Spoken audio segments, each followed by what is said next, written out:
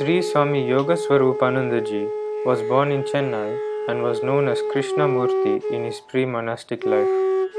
After reading an abridged version of the Mahabharata, a desire to lead a spiritual life in the Himalayan regions arose in his heart.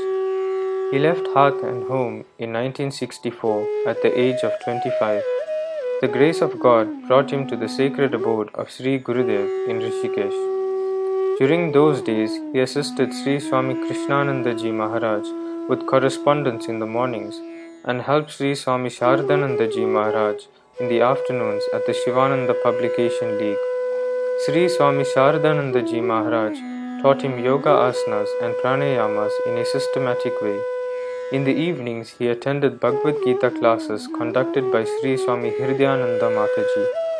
He became an adept in the subjects of yoga and Srimad Bhagavad Gita and was initiated into the holy order of sannyasa by worshipful Sri Swami Chidananda Ji Maharaj on the Shivaratri day of 1979 and was given the monastic name Sri Swami Yoga Swarupananda Saraswati. In 1973, worshipful Sri Swami Chidananda Ji Maharaj deputed Swamiji to conduct yoga classes for the IAS trainees at the prestigious Lal Bahadur Shastri National Academy of Administration in Mussoorie. Swamiji used to conduct nine courses in a year, each course lasting for three weeks. This honorary seva, done in the name of Sri Gurudev, continued for 30 years. Swamiji has been traveling regularly to many countries around the world over the years to conduct yoga classes, spiritual seminars, and to give personal guidance to devotees. In 2002, Sri Swami Chidananda Ji Maharaj nominated him as a trustee of the Divine Life Trust Society. In the following year, Swamiji was formally elected as the vice president of the society. On the 7th of July 2019, Swamiji Maharaj was elected as the president of the Divine Life Society. It is in this capacity that Swamiji is presently serving Sri Gurudev's holy mission.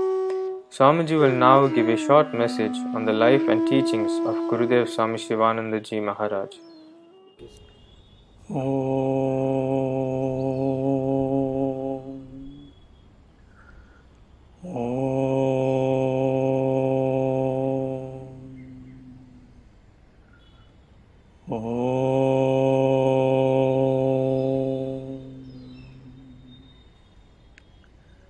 सद्गुरु भगवान की जय।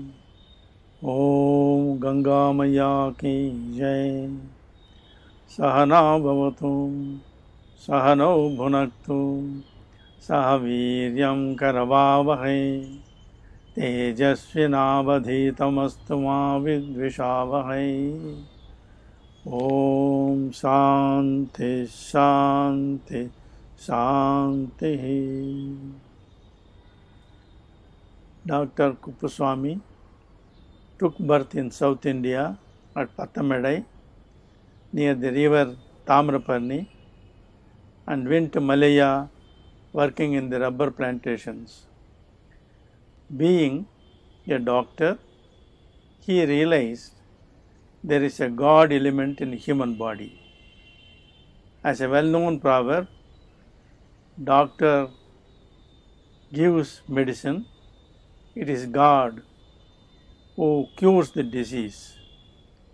He came from Malaya to Himalaya and took sannyas in 1924 and became known to the world as Swami Sivananda Saraswati. Thereafter, he traveled all over India, came to Rishikesh, and stayed in Swargashram. He began to write all his thoughts and began to publish in different journals. He wanted to remove wrong notions about ancient culture of Bharatavarsha. He wrote many books with his own personal experience. Some years ago, we started to preserve all his writings under the Sivananda Archives project. We discovered there are more than 500 books in which we discovered 3500 poems on many subjects. 1500 aphorisms, 3000 letters in his own hand, 372 stories depicting many aspects of religion and spiritual life, 115 parables to create interest in human mind, 32 dramas and 12 dialogues so that one can feel, entertain, simultaneously propagate the ancient culture. There are 285 biographies and 3 autobiographies, 6 commentaries on ancient texts, Gita, Upanishad, and Brahma Sutras. There are 120 songs. He has given 32,000 sayings and 35 lessons on different aspects of yogas. And also, there is one dictionary to clear many doubts. 352 of his messages sent to various individuals and organizations have been published, and a large number of away publications still to be awaited to be released.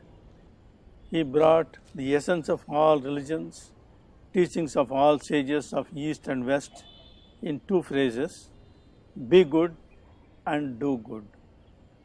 He propagated ancient culture of yoga and Vedanta and called it yoga of synthesis or integral yoga with simple words serve, love, meditate, realize, combining all yogas, namely Hatha Yoga, Karma Yoga, Bhakti Yoga, Raj Yoga, and Jnana Yoga. He emphasized start the day with God, spend the day with God, and end the day with God. This is the way to God. Before commencing any work, Swamiji Maharaj advised all to repeat God's name. Swamiji emphasized the importance of repeating Mahamrutyunjay mantra. And he gave a beautiful universal prayer depicting the Upanishadic declaration Tattvam Asi. I repeat that universal prayer which we do daily during our satsangs doing a concluding prayer.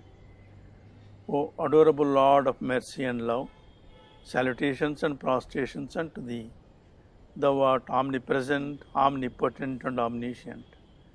Thou art Satchitananda, existence, consciousness, bliss absolute. Thou art the indweller of all beings. Grant us an understanding heart, equal vision, balanced mind, faith, devotion, and wisdom.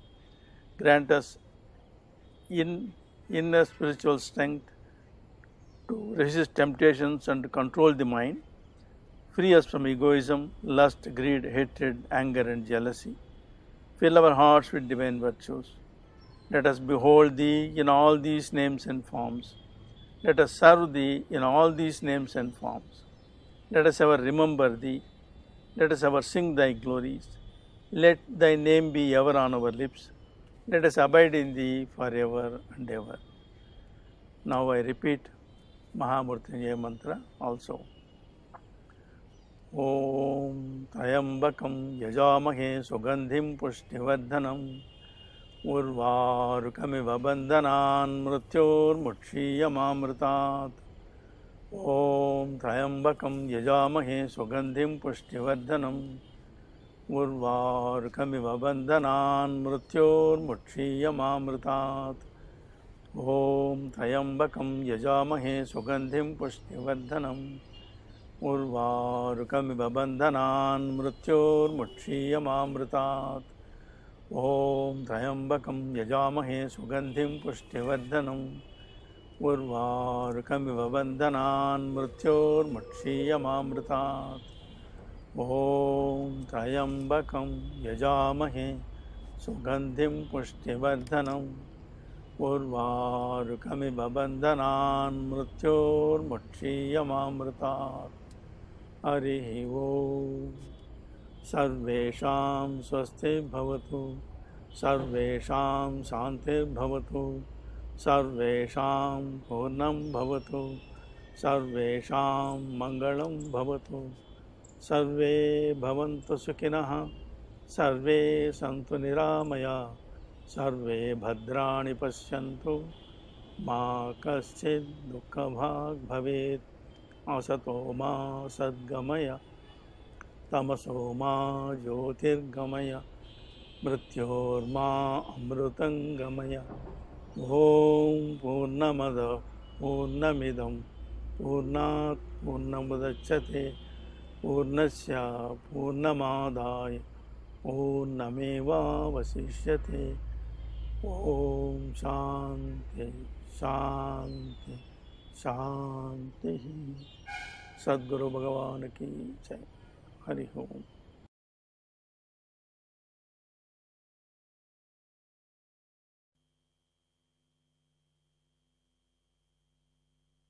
Oh, I shall talk to you today briefly on divine life.